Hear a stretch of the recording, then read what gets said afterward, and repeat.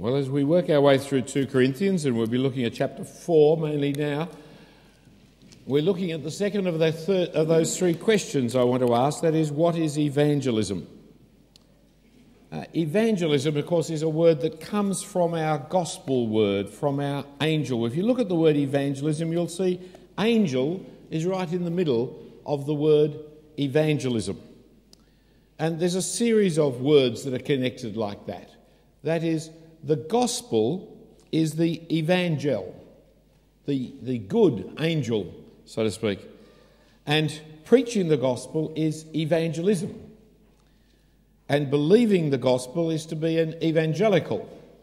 I wish the media understood. If we've got any journalists amongst us here, just please take note. I'm so tired of them getting confusing between evangelism and evangelicals. And the evangelist is the person who preaches the gospel. And even the word promise has connections with the concept of angel as well. That is, it's about the message and the message and the messengers. Evangelism is the proclamation of the gospel. That's fundamentally what it is. There's a series of verbs that go around evangelism, but they're all the verbs of saying, preaching, proclaiming, declaring.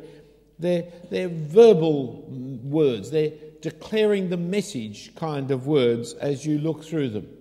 We look at the other ones that I had on that list there. We've got preaching the gospel, we've got believing the gospel, and you've got, what's the next one? Preacher of the gospel is the event. See how angel is in the middle of all these words. And the last one is on the promise of the gospel. And the promise still has, because what we're doing as we give a message is we're telling you what of the future. We're giving promises to you of the future. It's all about message and messengers proclaiming. But because the message is God's message, because the message is a divine message, it is powerful. Powerful to save, powerful to transform.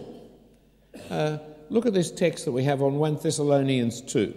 We also thank God constantly for this that when you heard, received the word of God, which you heard from us, you accepted it not as the word of man, but as it really is the word of God, which is at work in you believers. See, because it's not just the word of man, but the word of God, it actually is at work, transforming us, changing us, moulding us, uh, bringing us to repentance. It's at work in believers. So the first talk from 2 Corinthians referred to being letters of Christ, that we are the letters of Christ, that Christ has written on our hearts by his Spirit referred to being transformed from one degree of glory to another. And spoke of the message that we've got as being like the message of God who said, Let light shine, and it did in the creation. It's the proclamation that changes the world in its proclaiming. But to this end, the proclamation requires us to live consistently with the message. The message is the message, whether we live with it consistently or not, the message is still true. But we should live with that which we preach. Turn with me just for a moment to Philippians, the opening chapter there Galatians, Ephesians, Philippians, chapter 1. Paul's in prison and he doesn't know whether he's going to be released or not. To live is to Christ and to die is gain for him. But he, he would seem to be troubled, but he's not in chapter, 15, uh, chapter 1, verse 15. If you've got chapter 15 in Philippians, you've got a dud Bible. Chapter 1, verse 15. Some indeed preach Christ from envy and rivalry, but others from goodwill. The latter do it out of love, knowing that I am put here for the defence of the gospel. The former proclaim Christ out of rivalry, not sincerely, but thinking to afflict me in my imprisonment. What then? Only that in every way, whether in pretense or in truth, Christ is proclaimed, and in that I rejoice. Not everybody in our gospel partnership is going to work with us in the preaching of the gospel. Some will even think that they will go out and preach the gospel of Jesus themselves. And if they do, praise God, pass the ammunition. Don't worry about it. You don't have to do it with us to do it. The, the gospel is the gospel, whoever its mouth it comes from. Out of Balaam's ass came the word of God. That gives me a chance.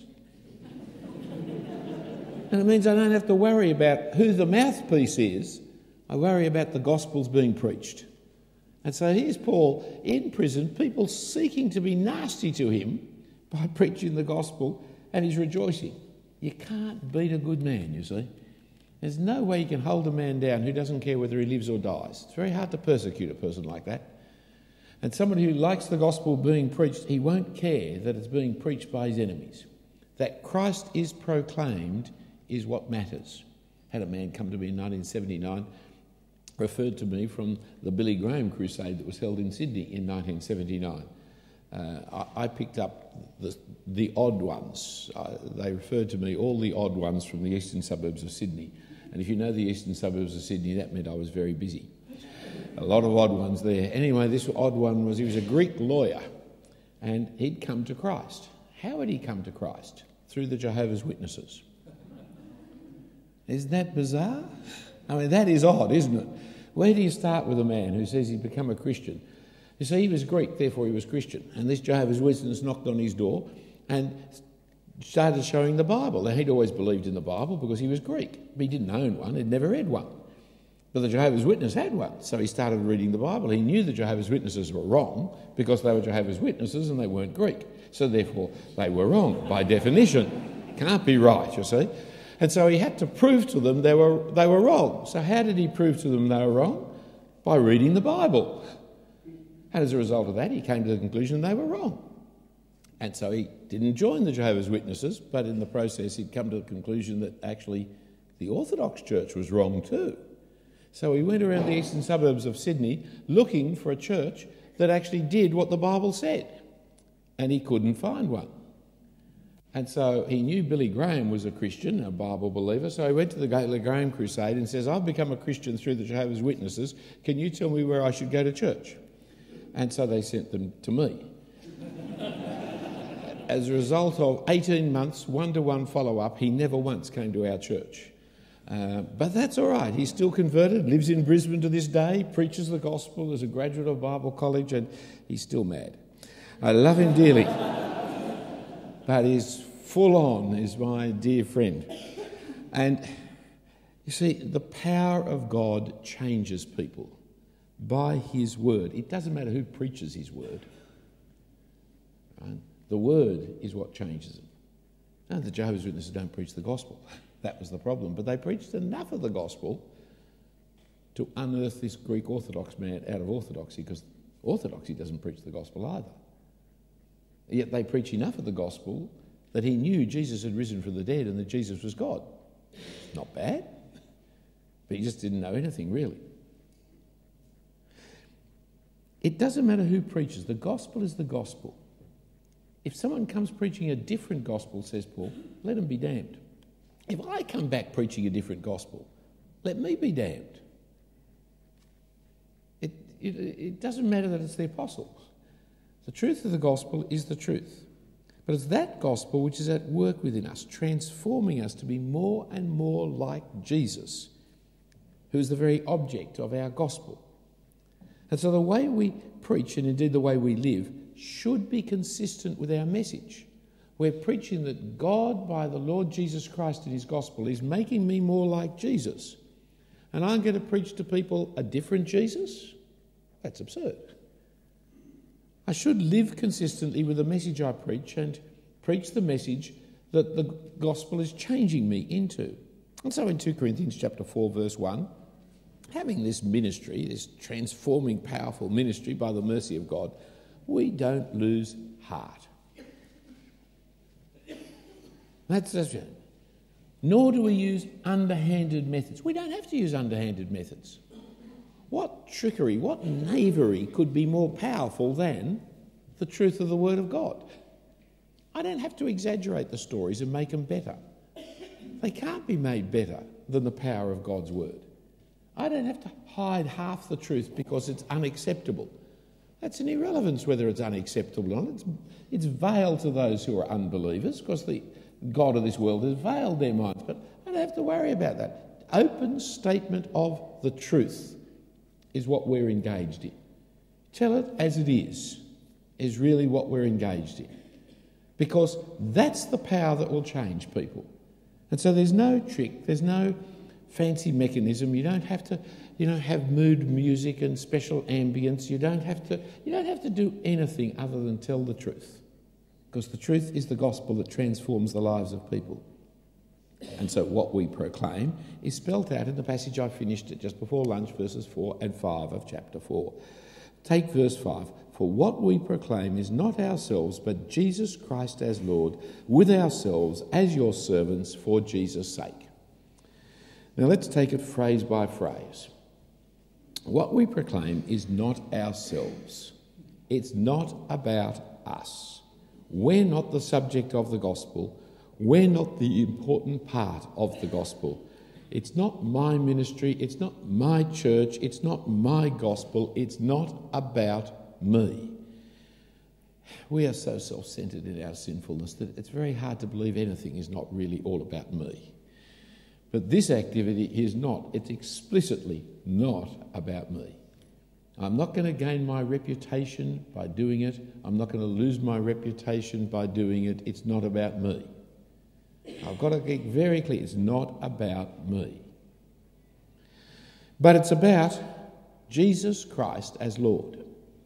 Jesus, the particular man of history, the Jewish man whose name meant Saviour, born of the family of David in the city, in the town of Bethlehem, the man who went around preaching the gospel of the kingdom of God and doing good and all kinds of good, such as the Old Testament prophets said the man would come and do teaching his disciples his imminent trial and execution as well as his resurrection, and was so betrayed, betrayed by wicked men and crucified by the Romans at the behest of the Jews. That Jesus is the Jesus the gospel's about.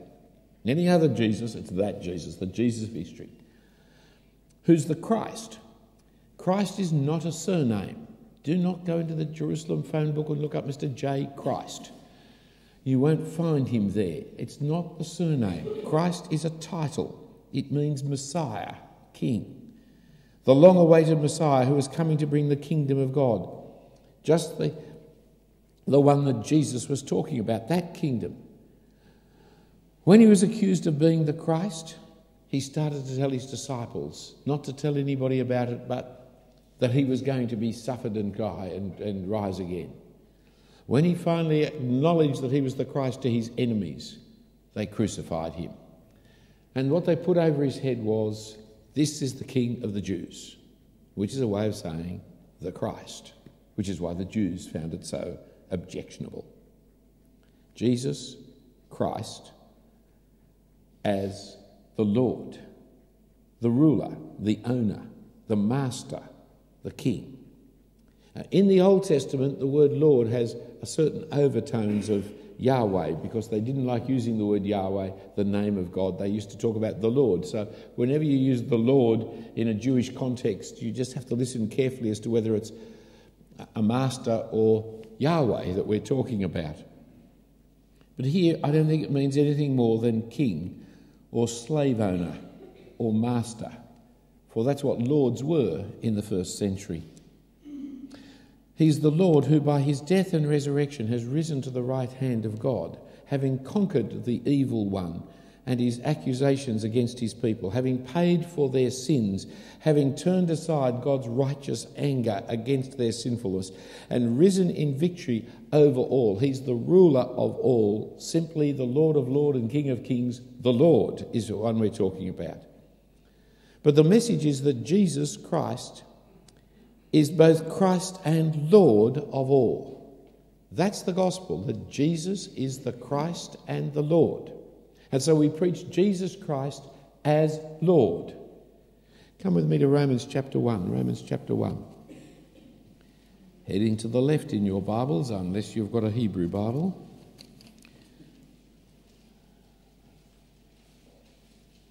Romans 1.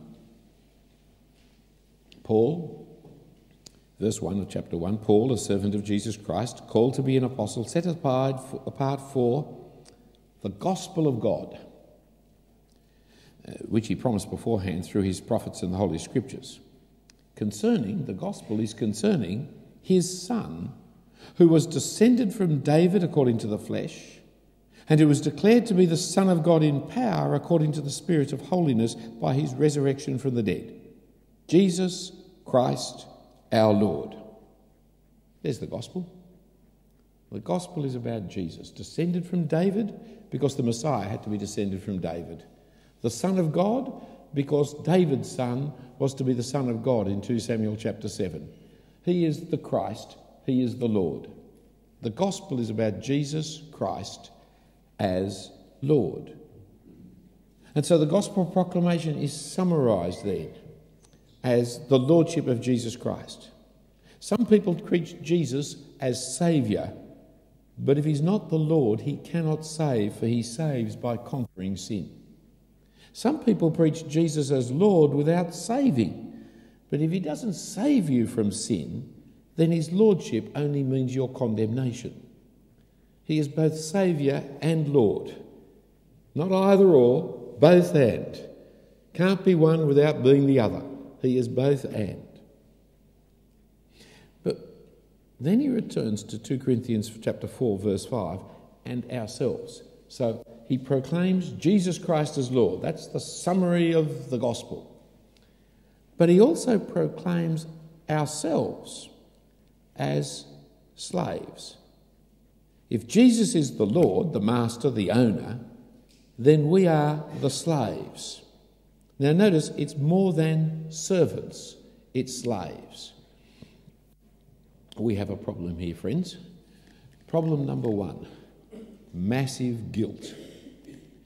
Should we be guilty? Yes. What we did in the slave trade, unacceptable totally and completely, and our nations were built on the wealth of it. And you can't ultimately distance yourself from your inheritance.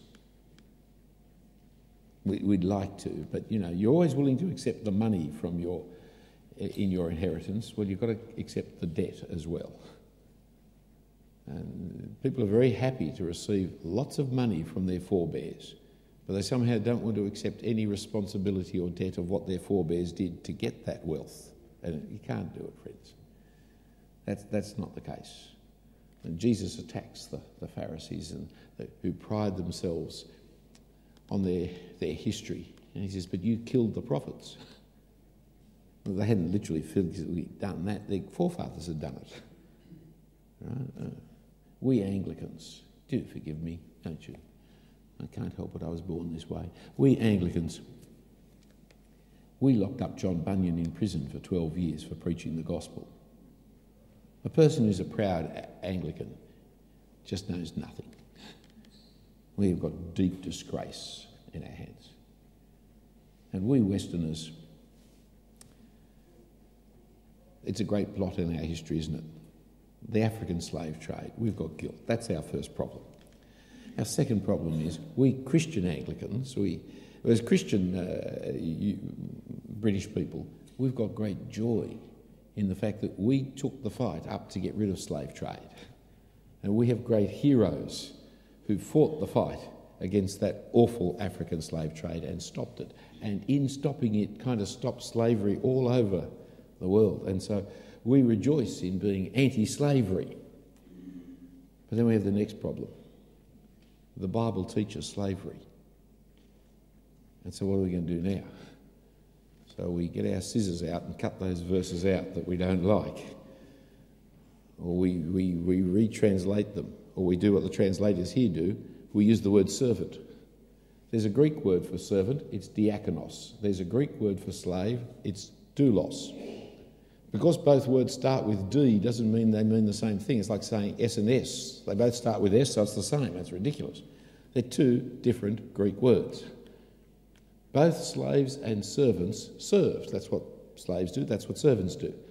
But all slaves weren't servants, and not all servants were slaves.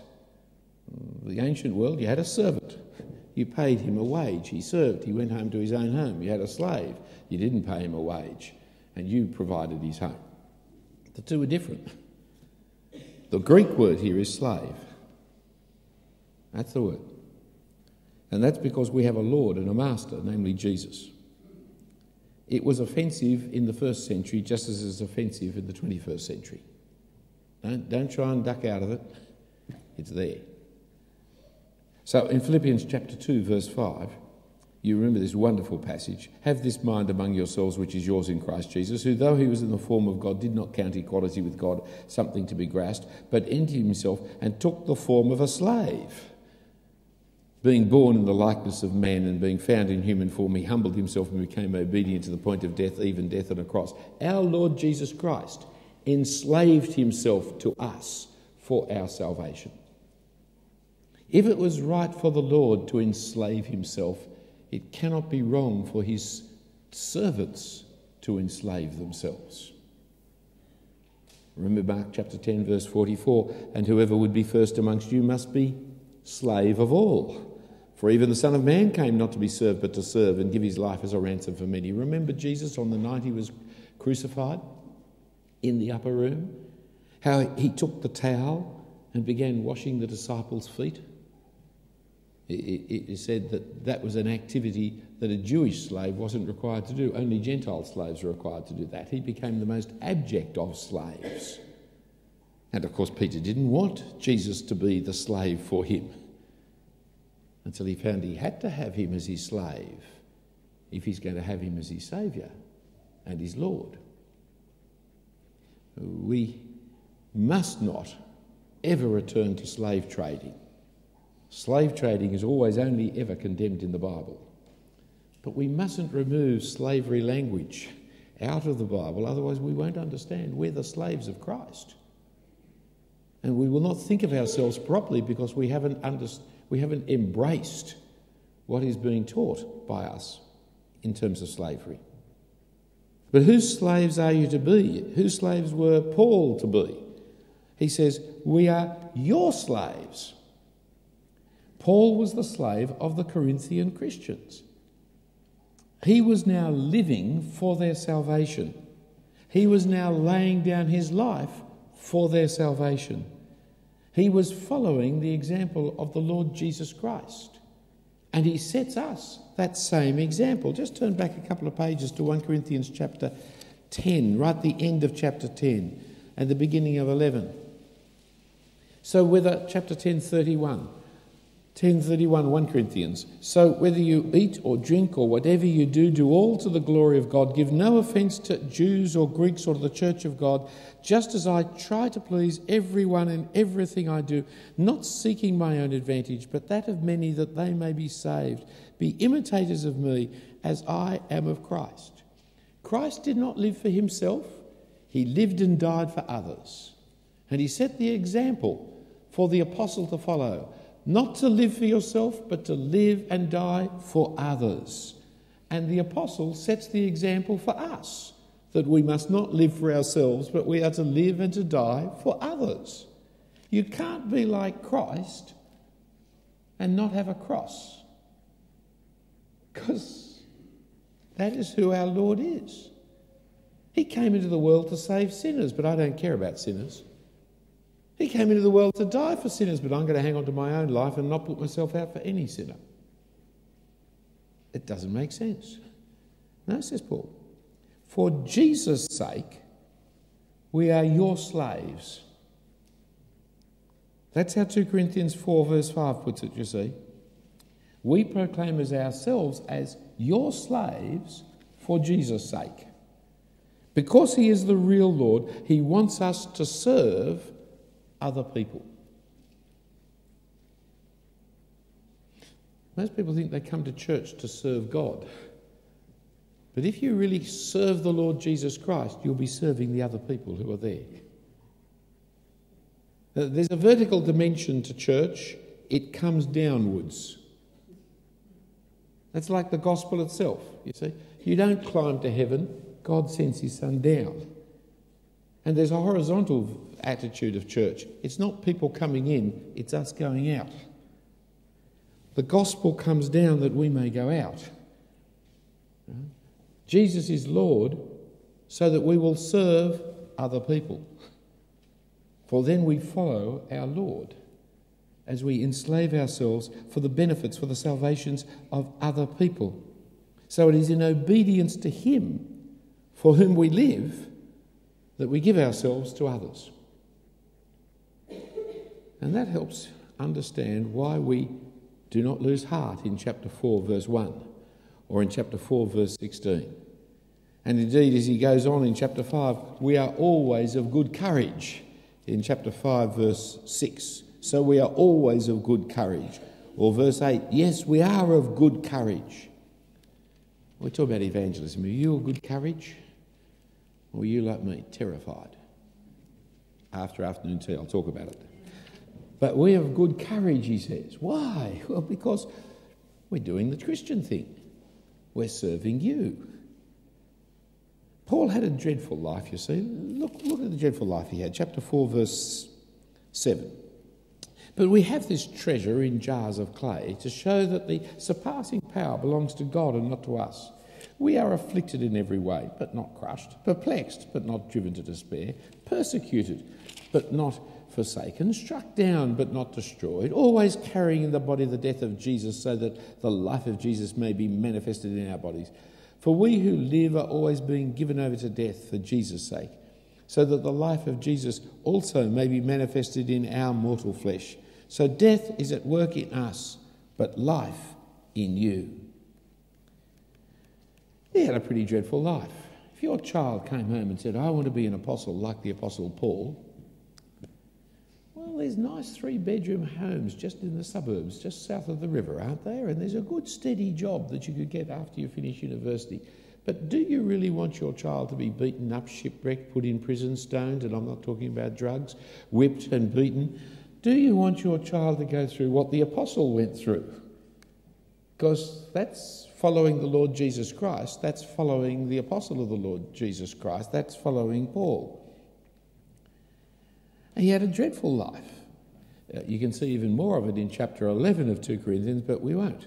But notice what he says here in chapter 4, verse 7. That is, we're like clay pots. Now, it's the power, the glory of the gospel, the thing that is changing the world through his preaching, is not him, it's the gospel within him. It's the bearer of the gospel is, is not important. It's the glorious, valuable thing inside. And so, if we were great, if we were magnificent, if we were wonderful, we would get in the way of the gospel being seen for what it is. But because we're just an earthen plot of no value and significance in itself, then people don't say, Paul is a great evangelist. They say that gospel is a great message. The bigger the better, the greater the evangelist, by and large, the less gospel is actually going to be heard from him. For the true evangelist will be forgotten because the gospel has changed the lives of people some of you are preachers and some of you are not, and some of you are really nice, and, and uh, no one's done this to me today, so it's all right, I can say it. But, you know, when people come and say to me, Oh, Phillip, you're a wonderful preacher, I know that I'm not, because they've heard me. When they come out in church and say, Isn't Jesus fantastic? Isn't that wonderful? I think, Yeah, I'm a great preacher. I've actually achieved it there, you see, because I am, they have, they have so, uh, They've looked through me, they've seen past me to see the one that matters. The truly great preacher changes hearts and minds because he preaches the gospel faithfully. The great rhetorical preacher who everybody speaks about, oh, you've got to go and hear him. He is really so clever, so able, so. The Lord Jesus is not coming across. Big difference, isn't it? You see, we're very worried when we preach the gospel, aren't we? We're scared, we're afraid, we're, we're timid, we're embarrassed about what people would think about us, we're concerned about how we'll come across, we're, we're all about me. Forget me. Not about me. It's about Jesus Christ as Lord. I'm a bumbling idiot. Yeah, that's good, good first qualification for being an evangelist. That, you know, no one's going to come away saying, well, I'm converted because he's such a great evangelist. Wasn't it Spurgeon? I think it was Spurgeon. If it wasn't, it should have been. Who, when attacked, and they said, Oh, Mr. Spurgeon, I saw one of your converts the other day lying drunk in the gutter. He said, It must have been one of my converts because if it was the Lord, he'd be standing up and sober. It's Good. It, it, it's worthy of Spurgeon, that one, isn't it? I, mean, I don't know whether I've even made it. Is it Spurgeon? It is Spurgeon. Good. Thank you. Good. That's a relief. Uh, because it, it's as clear as a bell, isn't it? Now, many of Spurgeon's illustrations are as clear as a bell like that. That's what we need to be. So it's not about us, it is about him. And we are clay pots. And in a sense, the more incompetent we are, the better, in one sense. Because it's more clearly his power that has led to people changing. So Paul says, I teach like the, like the psalmist, chapter 4, verse 13, I'm up to. We have the same spirit of faith. According to what has been written, I believed and so I spoke, which comes from Psalm 116.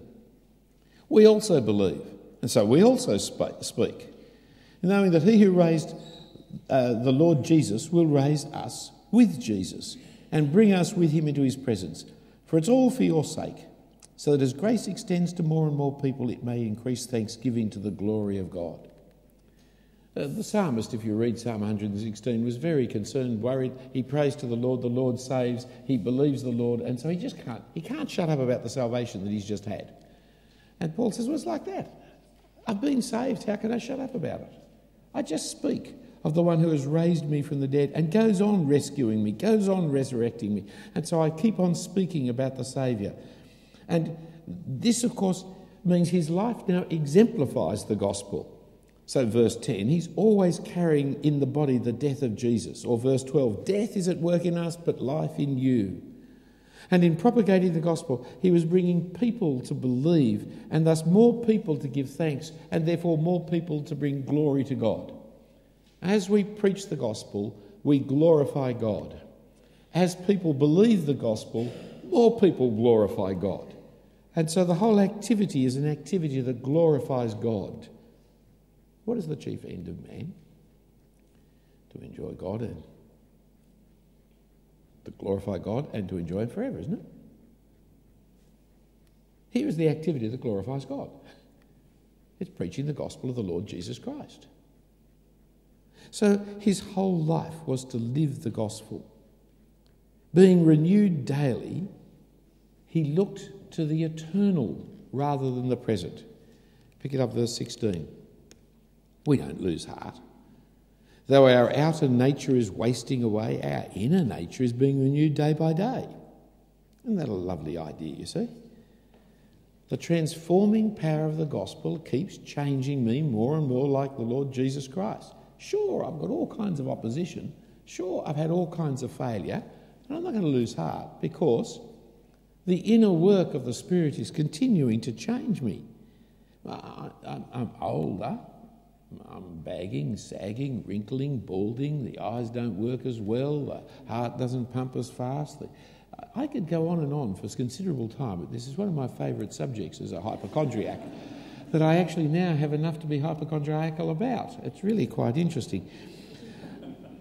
I made a terrible mistake at the cathedral. Oh, it was a dreadful mistake. One of my big mistakes of Christian ministry. I told them I wasn't going to shake hands at the door anymore because I got arthritis in my hands.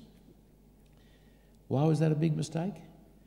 Every person in the building had another cure for arthritis. the next few months, I was being bombarded with all kinds of Please don't. I prefer to live with the pain and shake hands than go through some of the cures for arthritis. I've lost the place. Here we go, verse 16. See, the old outside, it's all wearing away, and I'm being beaten up from all sides. But so what? I don't lose heart. Because the inner work of God's Spirit is still going strong. And more, for this slight momentary affliction is preparing us for us an eternal weight of glory beyond all comparison. As we look not to the things that are seen, but to the things that are unseen. For the things that are seen are transient, but the things that are unseen are eternal. What we're going to receive far, far outweighs anything that we suffer now. The sufferings of this world, Romans 8, are not to be compared with the glories that are going to be ours in Christ Jesus. So keep your eye on the prize and don't worry about the moment, for the moment will pass.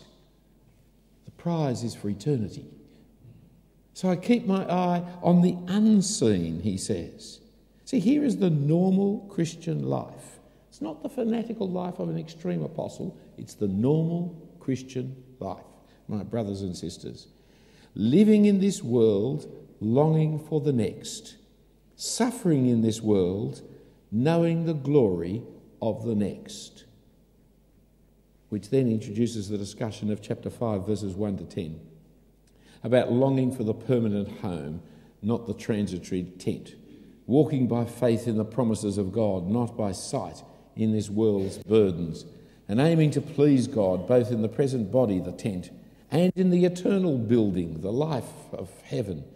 For we know that we are, all will appear, chapter 5, verse 10, before the glory, before the judgment seat of Christ to receive what is due to us for what we have done in this lifetime. Chapter 5, verses 1 to 10 needs to be set in the context in which it is written.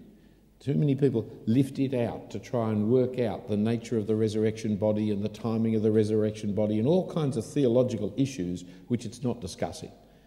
What it's saying is keep your eye on the eternal prize. Because the present suffering that you're going through is nothing compared to the eternal prize. And in the suffering now, seek to please the Lord. And in eternity, seek to please the Lord. So whether I'm in eternity or still here in this body, I aim to please the Lord. And in the end, I'm going to stand before the Lord and give answer for what I've done in the body. Let me read it for you. For we know that if this tent, which is our earthly home, is destroyed, we have a building from God, a house not made with hands, eternal in the heavens. For in this tent we groan, longing to put on our heavenly dwelling, if indeed by putting it on we may not be found naked. For while we are still in this tent, we groan, being burdened not that we would be unclothed, but that we would be further clothed, so that what is mortal might be swallowed up by life. He who has prepared for us this very thing is God, who has given us the Spirit as a guarantee. So we're always of good courage. We know that while we're at home in the body, we're away from the Lord, for we walk by faith, not by sight. Yes, we're of good courage, and we would rather be away from the body and at home with the Lord. So whether we're home or away, we make it our aim to please Him. For we must all appear before the judgment seat of Christ, so that each one may receive what is due for what he has done in the body, whether good or evil. Not the easiest passage for people to read and understand, especially when you want to answer questions as to what does it mean to be unclothed and not wanting to be unclothed. And you've got to hang to the theme of what the theme is about, which is established in chapter 4, verse 16 to 18. It's expounding that. It's the concept of living in this physical body, longing for the heavenly body. Not loving to be unclothed, not have a body, but to long for something which is even greater than the body we have at the moment, the resurrection body. We're, we're longing for the great permanent tent, uh, building rather than a transitory tent. That's, that's our life now, transitory tent. Do you want to live in a tent or do you want to live in a building? I hate camping. I know some of you are sick in your minds and think that it's a joy to go back into primitive existence and live under canvas. More fool you. I hate camping. I am so glad for the privilege of civilization that has given us decent stone buildings and brick buildings. And, and I'm not wet and I'm not cold and I'm not damp and it's not going to be blown over in the middle of the night or washed away by the storm that comes. I, I, I actually like going to bed and feeling secure, safe, warm, comfortable, and not have to worry about the ropes and people tripping over them and whether I, I am I hate camping. but sometimes you've got to live in a tent, haven't you? Sometimes you're poor, there's not much else you can do. There's millions of people on the borders of Turkey and Syria, etc., who are canvas tents, the best thing they've got going for them, but I guarantee they all long for a building. I guarantee they're all looking and hoping and dreaming for the day when they'll have a home, a proper home, a house, not a tent. Our life here is tent. Our life here is camping. We are camping here for a moment. Do not get attached to your tent. Do not think by putting on an annex you're going to make something permanent. An annex to a tent is just an annex to a tent. You're still in the tent. It really is still transitory. It's still going to be blow down and you're going to suffer. That's the nature of this world and this life, friends. But Paul says, I keep my eye on the home. While I'm in the tent, I seek to please the Lord. When I'm away with home, I'll seek the Lord. I prefer to be away from the body. But as long as I'm in the body, I've got work to do. Because in the end, I'm going to be judged by the Lord for the work I do. In chapter 5, verse 10, I'll stand before, we will all stand before the judgment seat. So, what is evangelism? It's the message to proclaim. It's the message to proclaim. It's the declaration that Jesus is Lord, King, Saviour, Judge. And with it is the message of the kingdom of God and of righteousness, of the mercy of God and the forgiveness that He brings, of rebirth and eternal life. Jesus Christ as Lord is a summary, but as you unpack the summary, it fills out with the crucifixion and the resurrection. It fills out with the forgiveness and the rebirth and regeneration. It fills out with how we live differently. It's summary Jesus. It's about Jesus. It's about Him as Christ. It's about Him as Lord. But it's all these things. But it's, see, it's the message we live and die by. For if we believe it, we must believe it. And if we live it, we must speak it and therefore we make it our aim to please Him, walking not as seen but unseen. Turn with me to Colossians chapter 3 to finish. Colossians chapter 3.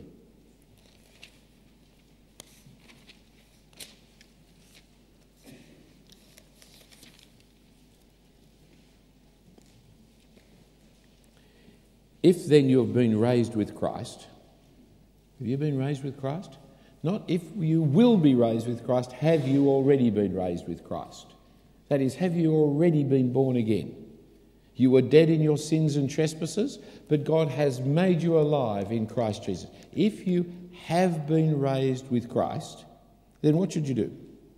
Seek the things that are above, where Christ is, seated at the right hand of God. Set your mind on the things that are above. See, I haven't been raised from death to life in order to go on living in the grave, to go on aspiring for the things of this world. I've been raised from death to life to seek the life that God has in Christ Jesus. I've been raised out of this world to sit in the heavenly places, not to sit in the world. We Christians are already in heaven. We've already seated in the heaven. You thought the chairs would be more comfortable, didn't you? No, no. Spiritually, we've been raised to spiritually sit in the heavenly places. That is where we are now, receiving all the blessings, all the spiritual blessings that are in Christ Jesus are ours now adoption and election and redemption and the knowledge of God's plans and purposes. This is all ours now because we have been raised up to sit with Christ in the heavenly realms. That's where we are now. Well, if that's where we are and that's where we're going for eternity, then stop thinking about the world. Stop worrying about the world. You see what he goes on? Set your mind on the things that are above, not on the things that are on earth. Because you've died, he says, and your life is hidden with Christ in God. See, when Christ died his death, he died my death. I've died. When I repented, I denied myself, took up my cross, and followed Jesus. I declared myself dead. We've died with Christ, we've risen with Christ. Well, put to death the old and put on the new. And so, chapter 5, verse, uh, chapter 3, verse 5, put to death, therefore, what is earthly in you. Chapter 3, verse 12, put on then as God's chosen ones, holy and beloved. It's my experience of the death and resurrection of Jesus that puts to death and raises to new life. And the new life that I've been raised to is the eternal life.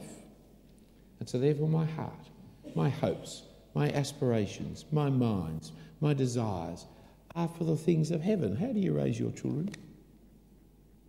What do you hope for your children? Had a grandson born just three weeks ago. What am I going to pray for my grandson? Very good looking. What am I going to pray for the little boy?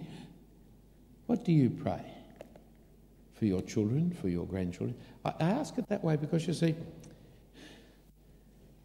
what you want for your children seems unselfish, doesn't it? I mean, if I said, well, I want to have a good education, a good career, a good job, it sounds very selfish. But when I say, well, I want for the children that they have these things, it sounds unselfish.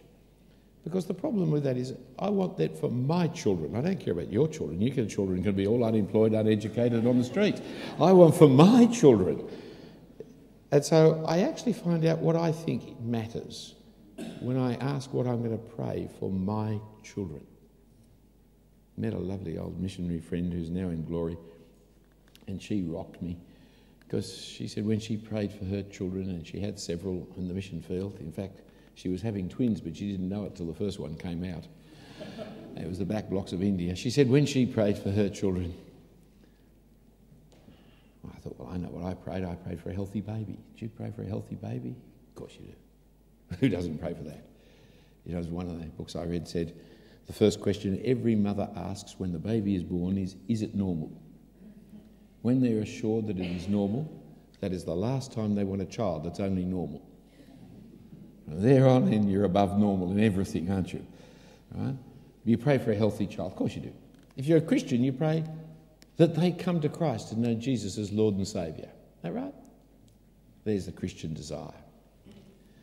No, not this lady. She said, I prayed they'd be missionaries. Terrifying.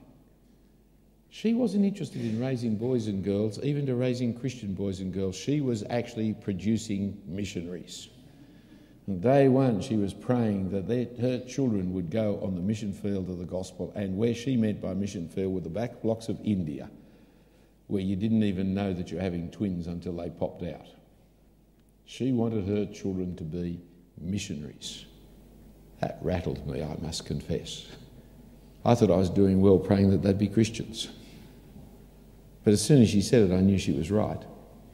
See, she set her heart and her mind and her aspirations on the things that are above, where Christ reigns, rather than the things of this earth from which we've actually died. It's a different mind frame, different mindset, isn't it? And so, Paul, in his 2 Corinthians, he's explaining why he doesn't lose heart. Why doesn't how can you be involved in evangelism in a godless society like Scotland is today and not feel beaten, discouraged, disheartened, down? The answer is because the gospel is the power of God for salvation. And God is working his purposes out through the gospel being preached. And because we're not judging by this worldly standards, we're judging by the eternal standards. And because we will endure any suffering in this tent as we work for the building. And because one day we will stand before the Lord Jesus Christ and give account of how we have used the years that He has given us since He's called us into His kingdom. Therefore, therefore, He says, Therefore, come back after afternoon tea and I'll tell you about it.